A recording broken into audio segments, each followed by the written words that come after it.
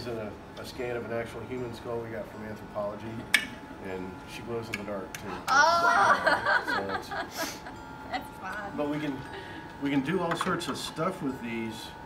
Um, like students can use them in their labs, Mm-hmm. and we don't have to worry about dropping it and breaking it because it's not the actual thing anymore. Right. But the scanner captures details down to a tenth of a millimeter. Wow. So I was doing one now. Oh, that's cool. yeah, so this is this is actually. It's like a fun project I'm doing for one of my students. I told her she bought the filament, I'd print out whatever she wanted. So she's got this anime sword that's in like 15 different pieces, and she's in Wow. Oh cosplay. my god. So, There oh, you go. there we go. Oh and the color has to match up. You know, that you got a red and a blue one. Yeah.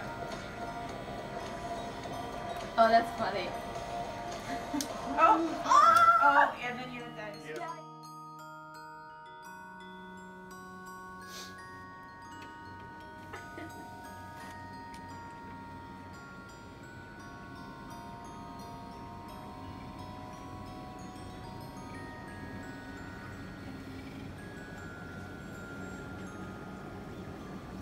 Cool, huh? Yeah, this is huge.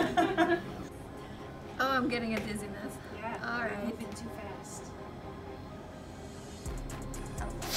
I'm, I'm expecting to see my legs, and there's no legs.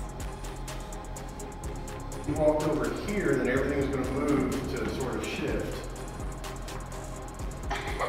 nice. Whereas, like, I don't notice any different. Right, you don't notice any different, but everybody else notices the notices the, the big